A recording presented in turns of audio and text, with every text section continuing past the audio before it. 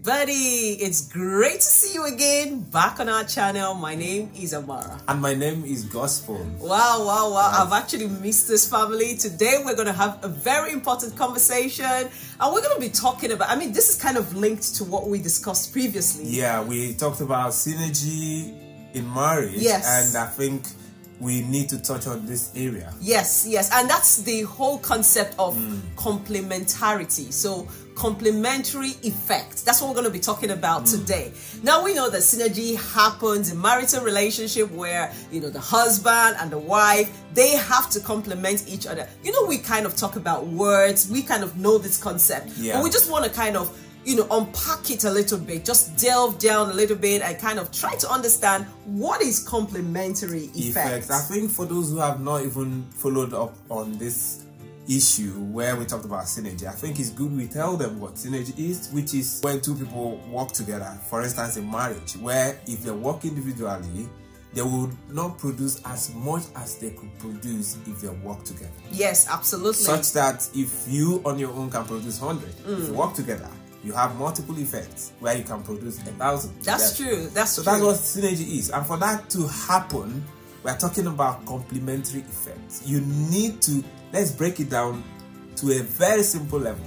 Complementary effect is where Hmm.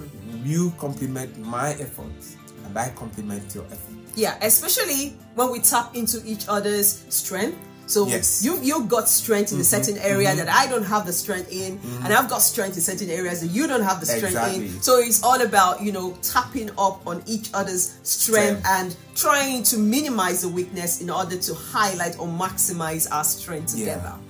I- It's important to say this because sometimes people focus on the weakness. that's true. So rather than focus on that, you focus on the strength of each other, maximize it, and then minimize it. Absolutely.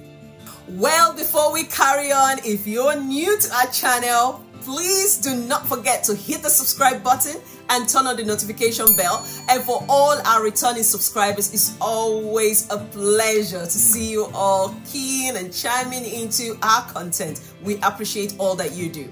Now let's carry on with the conversation. Mm-hmm. We are talking about complementary effect. Effect. Yeah, I want to say that before you could actually work together, use your strengths to maximize your relationship, you need to know your strength. Absolutely. And to do that, there is a common approach to it. Can you tell us about SWOT analysis? Well, this is something everyone knows, but I think that a lot of times when it's being referred to, they look at it from a business point of view. Mm-hmm. But this is a concept that can also work even in your relationship, where you look at your strength, mm-hmm. your weakness, mm-hmm. your opportunities, and the threats. Yeah. So basically, the strengths and weakness is you looking inward, the mm-hmm. opportunities and threat is looking at outward. Yeah, I think couples can also sit down together and have this conversation.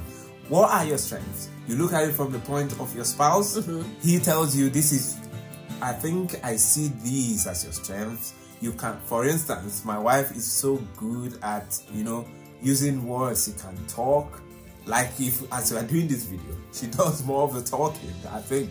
And I'm better off writing. Yeah. So, in this project, what we do is who does what? I do more of the writing. So you do the scripting, yeah. Scripting. Yeah. She helps in terms of bringing the ideas, you know, that make whatever script we have to be more practical, to be more, you know, to bring in that, um, will I say, The flavor. that flavor, Absolutely. you know, that that blend, you know. That's what we do. We look at our strengths, we look at our weaknesses. But when you look at it in terms of character, who has more proficiency, who is more proficient in terms of, let me use money for instance. I like to use this instance, even though um, it doesn't work well for so many people. So, in a marital relationship where husband and wife, you know that one partner, for instance, the wife is the one who is better at managing your finances. It is the best for her to take charge of that area, not because you would say, okay, gender difference, I'm the man, I should be the one keeping the money. No, it doesn't work like that. You look at your strength and you allow that person to focus on his or her area of strength. I think, well, yes, exactly. What you're saying is it doesn't really matter, you know, whether, I mean, just do not forget that both of you are one. Mm-hmm. And you're in the relationship to make things work mm-hmm. effectively mm-hmm. for the family. Mm. So if he benefits, I benefit. If mm. I benefit, he benefits. So it's about finding the best strategy that will work for us, highlighting our strengths, minimizing our weaknesses, know what whose strength is what, and then we tap into that. That, just to make sure that things run seamlessly. Now, apart from apart from that, you can also pause and ponder. Hmm. What are the things that we can actually learn from each other? Mm-hmm. Maybe there's something you're doing well that Yeah. I could learn from, mm-hmm. or maybe there's something I'm doing well that I could learn from. It's an opportunity, you know. Mm. Most times we speak about this, we look at it externally. We want to look at what what can I learn from someone out there? What can I learn from my mentor? What can I? I'm not saying don't have a mentor. I'm not saying don't have a coach, but we kind of sometimes in our relationship because we know each other too well Mm-hmm. we kind of disregard the value that is right in front of us Yeah, you know true. there's some there's a lot of value in my husband Mm-hmm. Yeah. there's a lot of things i could learn from you And there are things I can I learn from you. Not that I can't learn from you. I learn a lot from you. Absolutely. And that's the complementary effect we are talking about, where you can always complement each other. You always learn from each other. absolutely and just being open to that Mm-hmm. being open to it If I would also add to that, you can also see complementary effect as the primary purpose of marriage. Hmm. Because you can live by yourself, you can do things by yourself, you can be single all your life if you want to, but you're bringing someone into your life to complement your effort, to make your life better, hmm. not to compete with you. absolutely. You see this competition thing, sometimes the man is on a job, he wants to be the one making more money, and the woman is trying so hard to outwit him. yeah It shouldn't be. It should be a team thing. You know, we've talked about teamwork before. It Yeah. should be a team thing where you work as one. absolutely It's not a competition. at all Mm. how can you compete with your spouse Some people do. I find it kind of it's kind of awkward, but it, it's okay if you're driving Striving each to other better. to be better. Yes. Yes, not the fact that I am in a competition with my husband because look, we are in partnership together. complement we are. Mm-hmm. we are in a journey together. I cannot compete with you. You cannot compete with me. You're me. different even though we are one. Absolutely. There are things you do better than I do, and I don't try to do them. Even though sometimes you want me to be like you, to do things your way. Like, honey, do this, do this. And my personality is the calmer side of our relationship. Absolutely. So when things need fire, you come on board. anyways it's okay. I mean what we are trying to say here is you are both different. Hmm. And you just have to appreciate that because there's a reason why you're this way in your mm-hmm. relationship Yeah, yeah. there is a purpose for it. Hmm. You know and it, it reminds me of a scripture that says one shall chase a thousand and two chase chase ten 10,000. thousand.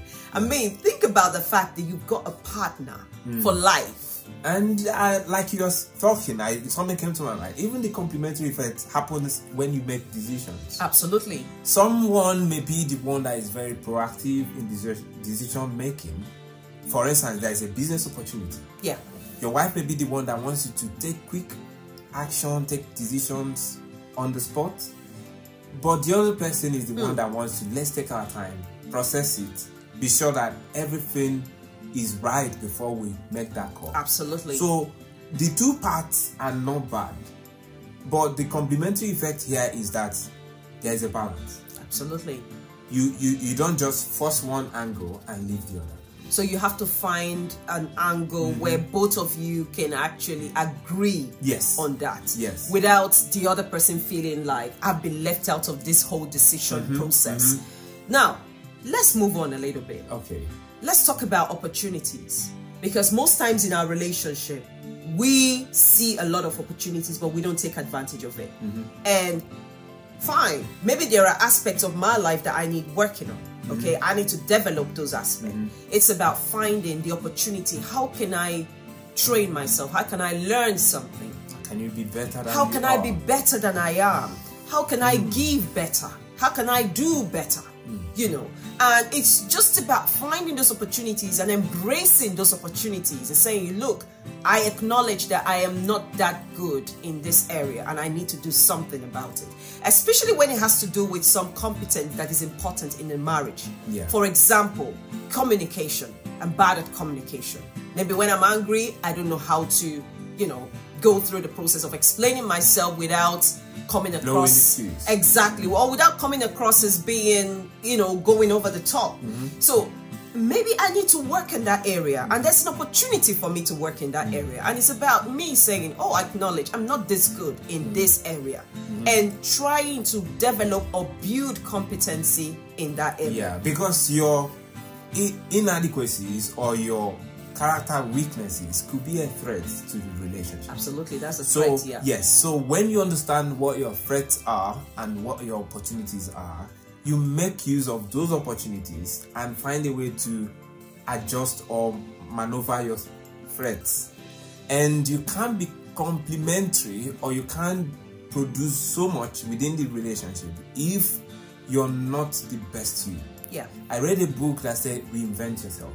If people understand that life is progressive, there is always need and room for improvement. Absolutely. Where you keep reinventing yourself, reinventing your relationship, reinventing who you are 10 years ago is not good for where you are today. So you have to keep working on yourself, hmm. working on your relationship Yep. so that you can bring so much mm-hmm. into it. So you complement each other effectively. Yes, and let's look at the threat because sometimes the threat could be external Mm-hmm. as well. And it's every marriage is different, you know, in terms of threat. So it's all about both of you sitting down to identify Mm-hmm. what are these threats, what are these things that constantly make us bicker at each other, Mm-hmm. constantly, you know, we are not where we used to be or we're not where we are supposed to be. You know, and it's all about, you know, sitting down, addressing those things and finding ways to Mm-hmm. Either you know minimize them or eliminate, Eliminate them, them completely possible. yes if, Yeah. Mm-hmm. if possible now in some cases it could be you know in-laws it could be you know family members both you know whether it's from your Mm-hmm. Yeah. husbands or from the From wife i mean it could be anything it could even be friends Mm-hmm. you know someone you've brought in from you know the past relationship or anything It could even be your environment. Absolutely. It could be the association you you found yourself in. It could be your society, your community. Exactly. religious community. Any. Whatever it is. So Yeah. sometimes what you might need is to isolate yourself from such influence that negatively impact on, Hmm. On your relationship. Yeah. Because if you don't, you will not fulfill the purpose of your coming together. Complementary effect is about you achieving the maximum that you can achieve together, which is what synergy is about. yes So those threats would hinder you from doing that. and it's not a one-off exercise Mm-hmm. i think every relationship at every phase every year sometimes time, yeah. every month you have to do an audit check Mm-hmm. you know find out you know where are we now? What are our strengths what have i done better? Mm-hmm. you know where are the opportunities that i could improve? And what are the threats? What are the things stopping us from getting to where we're supposed to be? Mm-hmm. and it could be internal it could be external. And it's about you constantly intentionally engaging in those checks audit Mm-hmm. checks. And I want to say to you that if you do what you need to do, if you see your marriage the way it should be, and you see your spouse as a helper, someone who is there to support you, to make you the best that you ought to be, and you see yourself as the same for your partner, hmm. where you see yourself as someone who should push this person to be the best that he or she is supposed to be, I tell you, you guys can do the impossible. that's true. When a husband and wife are together in spirit, soul, and body, there is nothing, absolutely nothing that can stop them. Yeah, absolutely, I agree. Now, drawing from what you said, now your threat could be that you actually you've lost your job, so there's no source where you feel there's no source of livelihood right now, or the fact that even you've got children, you've got responsibilities that you think you cannot manage. Look, I just want to say to you guys, hang in there. Hmm. It doesn't matter what it is. You know what? The storms will always be there. Challenges never cease to exist. At every phase, there's always some hurdle to cross. But you know what is constant? You have someone right by your side. And you mm. know, together you can win. Mm-hmm. Together you can weather the storm. So it doesn't really matter what the challenges might be, as long as both of you have a unified front mm-hmm. and you have you know, a focus, you want to win together, mm-hmm. it is possible. And you know the thing, when the other is down, complementary effect is that you're going to encourage your spouse, push him, push her, tell her to be the best. I believe in you. Absolutely. I stand by you. I love you always. No matter what happens, we will win together. That is what complementary effect is about. Wow. I don't know if you found this conversation really interesting, but please, could you tell us in the comment section what you think about complementary effect or maybe in your relationship, what, what are the strengths, what are the weaknesses, what are the opportunities or threats that you identified and how did you manage to navigate those? Because this could be an encouragement to someone else. Please tell us in the comment section.